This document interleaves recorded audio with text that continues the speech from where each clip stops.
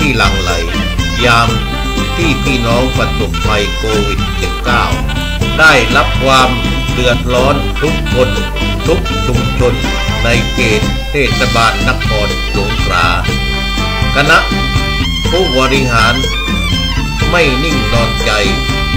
พยายามไปหาทุกที่ที่พี่น้องประชาชนได้รับความเดือดร้อน วันนี้วันที่ 26 พฤษภาคม 2563 คณะผู้บริหารเทศบาลนครสงขลานำโดย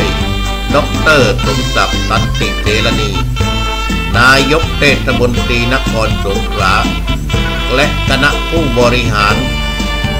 สมาชิกสภาเทศบาลนครสงขลาแจกถุงยังชีพเข้า สารตัด คัดพิเศษ 10 กิโลกรัม ปลากระป๋อง10กระป๋อง น้ำหนักรวมถุงละเกือบ 13 กิโล กว่า 200 ชุด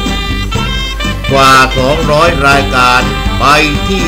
ชุมชนพาณิชย์สำโรง